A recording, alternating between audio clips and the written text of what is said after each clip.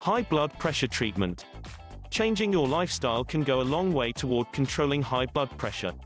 Your doctor may recommend you make lifestyle changes including eating a heart-healthy diet with less salt, getting regular physical activity, maintaining a healthy weight or losing weight if you're overweight or obese, limiting the amount of alcohol you drink.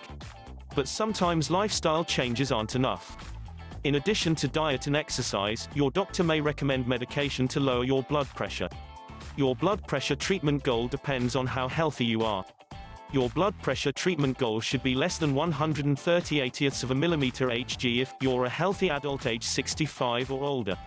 You're a healthy adult younger than age 65 with a 10% or higher risk of developing cardiovascular disease in the next 10 years. You have chronic kidney disease, diabetes or coronary artery disease. Although 120 80ths of a millimeter Hg or lower is the ideal blood pressure goal, doctors are unsure if you need treatment medications to reach that level. If you're age 65 or older, and use of medications produces lower systolic blood pressure, such as less than 130 mm Hg, your medications won't need to be changed unless they cause negative effects to your health or quality of life.